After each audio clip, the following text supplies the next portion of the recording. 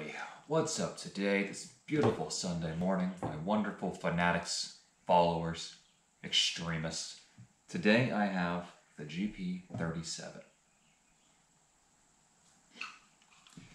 The GP37 is a Russian muzzle-loading GP25, GP30 inspired 37mm launcher.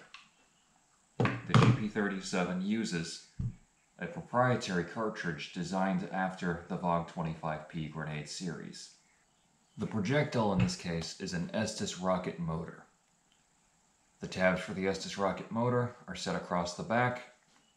The front is filled with a powder mixture or the payload, and the launcher itself has two electrical contacts inside of the barrel, one radial and one centered, so that no matter where this falls, it will end up on that contact pad. It's powered by one standard battery in the grip assembly. The trigger is merely a button that contacts these together.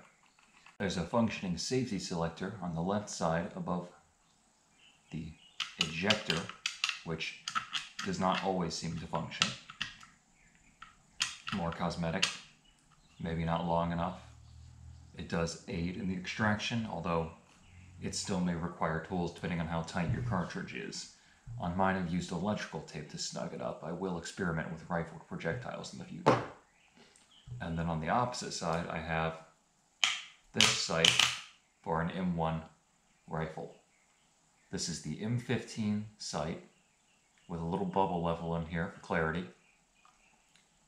This sight was designed to go onto the M1 Garand for rifle grenade use. It just so happens to look close enough to the proper Russian sight while also being under $20 and available pretty much everywhere. Across the top of the launcher is a Picatinny rail. I'm not an AK person. I don't have AKs.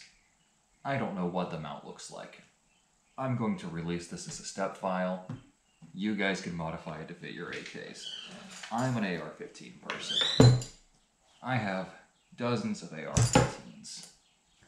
Alright, so I've worked my magic, and now we have an SDS import Lynx 12.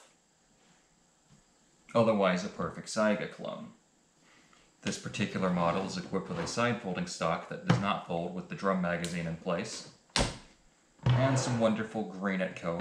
anodized green Zenitco parts, as well as a $70 SIG optic. All wonderful, cheap, and fun items.